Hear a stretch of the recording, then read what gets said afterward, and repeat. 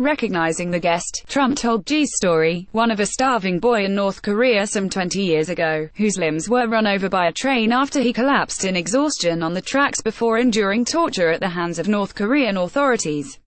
Trump said Ji was a witness to the ominous nature of the authoritarian North Korean government. Ji grew up in North Korea in the 1990s around the time when the public food distribution system in the country collapsed.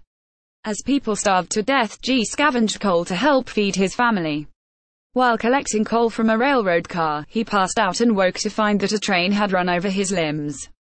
Ji has publicly spoken of hardships he faced and of the brutal punishment meted out by North Korean police when he was caught bringing rice back from China. He spoke of how he escaped North Korea at the Oslo Freedom Forum in 2015. Through an underground network in 2006, Ji fled through China and other countries before arriving in South Korea. He traveled on a pair of wooden crutches he said his father had made for him.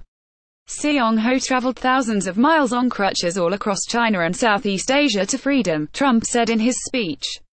Most of his family followed. His father was caught trying to escape, and was tortured to death. With tears in his eyes, Ji hoisted the wooden crutches that his father made, to the thunderous applause at the State of the Union. Trump called his story a testament to the yearning of every human soul to live in freedom. Ji now runs a group called Now Action and Unity for Human Rights, advocating for North Koreans. Alongside Ji were Fred and Cindy Warmbier, who were reunited last year with their son Otto shortly before he died after returning from 17 months of captivity in North Korea.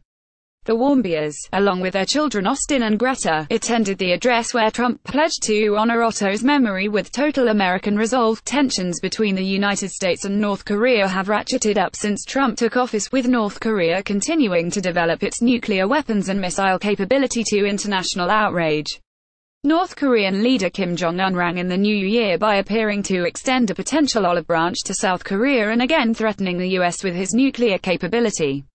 In his speech Tuesday, Trump said North Korea was an unparalleled oppressor and that its nuclear missiles could very soon threaten our homeland. We are waging a campaign of maximum pressure to prevent that from ever happening, Trump said, reiterating his position to approach the issue differently than his predecessors.